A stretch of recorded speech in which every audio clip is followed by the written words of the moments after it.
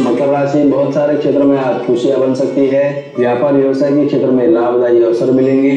पूर्व काल में आपके द्वारा किए गए निवेश से लाभ होगा। आपके द्वारा शुरू की गई योजनाओं का अच्छा परिणाम मिलना आज से शुरू हो सकता है। व्यापार के विस्तार को लेकर नई योजना बन सकती है। नए करार और समझौते हो सकते हैं। बहुत दिनों से रुका हुआ व्यवसायिक धन पुनः प्राप्त होगा। महत्वपूर्ण सरकारी कार्य भी आज पूरे हो सकते हैं। शेयर मार्केट में निवेश के लिए सकारात्मक है। आज निवेश करने से आपको आर्थिक लाभ हो, ऐसी संभावना ज़्यादा है। पारिवारिक जीवन संतोषकारक रहेगा।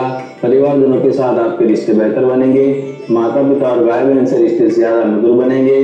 किंतु संतान से जुड़ी हुई कोई समस्या आज ज़्यादा गंभीर बन सकती है। आपका स्वास्थ्य दिन भर अनुकूल और सकारात्मक रहेगा। शारीरिक तौर पर आज आपको आरोग्य से जुड़ी हुई किसी भी प्रकार की समस्या हो, ऐसी संभावना बहुत कम है। महिला वर्ग के लिए दिन सभी तरह से सकारात्मक रहेगा।